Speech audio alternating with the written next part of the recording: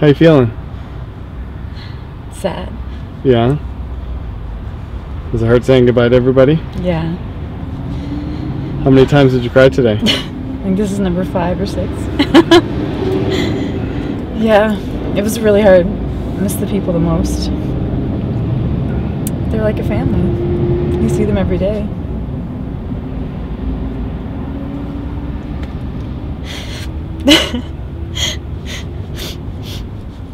yeah. Toughest part of this whole thing, for sure. Just because you don't know if you'll ever see those people again. But you hope to. And hopefully we'll meet some new people. Yes, that's that's what's exciting, you know. Starting another chapter, but it's uh, just sad to close it as well.